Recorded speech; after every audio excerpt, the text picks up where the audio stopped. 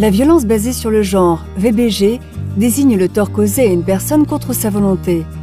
Elle résulte de discrimination ou d'inégalité relative au genre.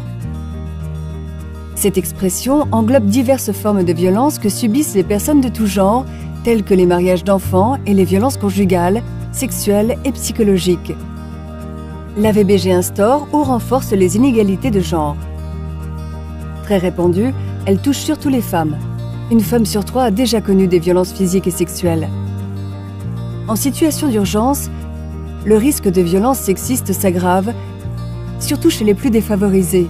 Même lorsque nous nous efforçons de sauver des vies, il est impératif de reconnaître et de prendre en considération les inégalités de genre et les risques de VBG. Sans quoi, nous pourrions échouer à aider ceux qui en ont le plus besoin, voire les exposerions malgré nous à d'autres dangers. Que faut-il donc faire? Comprendre que la VBG est une menace mortelle et qu'elle existe bel et bien, que les faits soient avérés ou pas.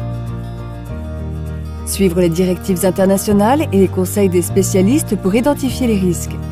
Les abris et camps inadaptés aux questions de genre renforcent les risques. Les écoles et activités récréatives, essentielles au bien-être des enfants en situation d'urgence, sont aussi des sources de VBG. En tant qu'humanitaire et dans la limite de nos compétences, il est impératif de lutter contre la VBG. Identifions et ciblons les besoins, les capacités et les vulnérabilités des filles, des garçons, des femmes et des hommes. Parlons avec les groupes vulnérables pour identifier et limiter les risques sécuritaires à toutes les étapes de la réponse humanitaire. Attaquons-nous aux racines de l'inégalité en promouvant les droits des femmes, des filles et des autres groupes marginalisés. Encourageons les hommes à défendre l'égalité et à lutter contre la VBG. La dénonciation de la VBG est stigmatisée et peut provoquer davantage de violence. Elle peut aussi accentuer ses conséquences physiques, morales et sociales, sans compter les répercussions sur le recensement des cas et l'accès des victimes aux services d'aide et de soutien.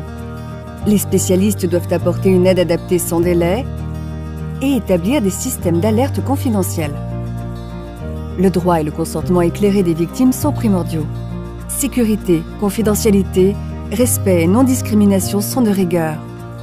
Les non-spécialistes jouent aussi un rôle essentiel. Si quelqu'un vous signale un incident, regardez, écoutez et faites le lien avec les dispositifs d'aide en vigueur. Nous devons tous prévenir, limiter et lutter contre les VBG.